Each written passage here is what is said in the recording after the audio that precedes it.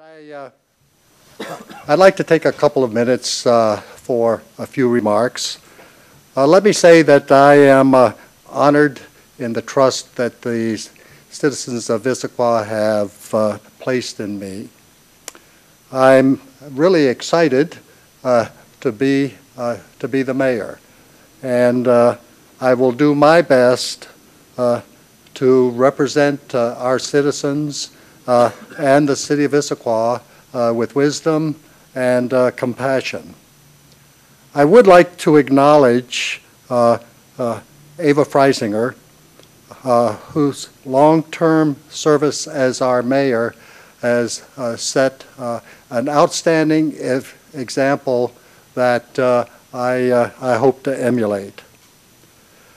Uh, I'm somewhat sad uh, to leave the uh, the council after uh, 14 years, uh, but excited about this new opportunity.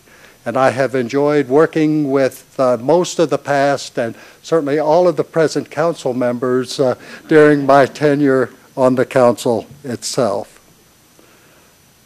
I would like uh, uh, to thank you uh, for the opportunity to serve with you, and I uh, pledge uh, to continue uh, the good relations that we have established between the administration and the council. You serve a very vital role in our city.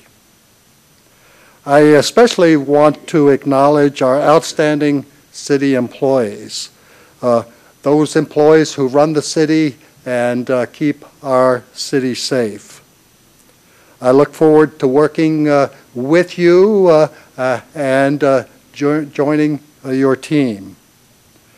Uh, I also look forward to the challenges that lie ahead and promise to do my best and to work hard on uh, the behalf of all of our citizens.